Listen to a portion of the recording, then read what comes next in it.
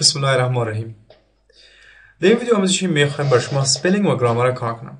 spelling و گرامر به منظور حل مشکلات در قسمت املا و گرامری استفاده میشه. خیلی خوب در قسمت اول ما می‌خوایم چند تا اشتباه را درش کنم تا برای راه حل باش بسنجیم. مثلا study من نشته می‌کنم با e اضافه تر.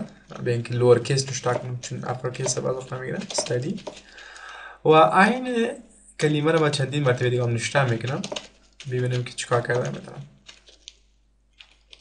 خیلی خوب. نشته کردم استادی یک ای اضافه کردم. پس اگر بخوایم یک بک اینا رو حل کنم دمو خط پس دمو خط کلیک راست می‌کنم و کلمه پیشنهادی یک شبه سلک کنم.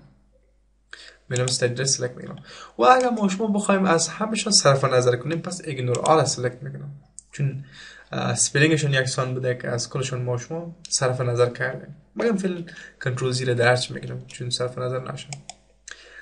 option ی وجود داره به نام add dictionary. فرض مثال اینجا ما شما نام خودم نشته می‌کنیم. شخصا من نشته می‌کنیم اسدالله. ببینید اسدالله چون نام از ما می‌خوام در روی dictionary اضافه شوه کلیک راست می‌گیرم add to dictionary استفاده می‌کنم.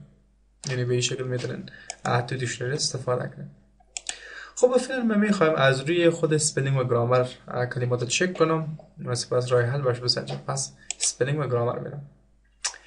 خیلی خب این option دیگه هم وجود داره. بسیار ساده و آسان است. ignore از یکیش صرف نظر می‌کنین کلمه بعدی select میشه. ignore all از همش صرف نظر میشه.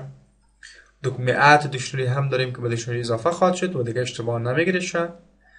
خب کلمات پیشنهادی در قسمت پایین است و هر یک در قسمت پایین معانی خاص خواهد داره که می‌تونیم select ش کنیم و بفهمیم که چی معنا میده. و با فعلا می‌تونیم change کنیم یک تغییر بدیم. مگه ما تصمیم دارم کلش تغییر بدم پس change all select می‌کنم. دانستم که همشون تغییر بدم بین بس اشتباه گرامری ببینیم که اشتباه گرامری چی option با هم میده. نشته میگنم he are a boy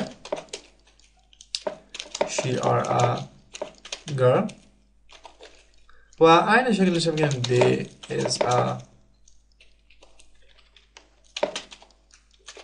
they is books خب بریم در سپلینگ و گرامر حالا ببینیم که چی مشکل وجود داره. در قسمت گرامر وقتی که مشکل وجود داشته باشه پس می‌بینید که در بالا نشته میشه گرامر مشکل داره. و ما آر نشته کردیم می‌خوایم به اس تبدیل کنیم چینج و با چرا تغییر بدیم؟ قسمت پایین خواندن می‌تونیم. و اگر لسانش درست نبود با اون لسان خاص خودش باید سلکتش کنیم تا گرامر اون لسان خاص خودش مرتب شه. خب با فعلا چینجش می‌کنم. بازم سر موضوع دیگه آمدیم. دوباره چینج کردم می‌تونیم. دوباره چینج کردم می‌تونیم. به شکل چینج کردم.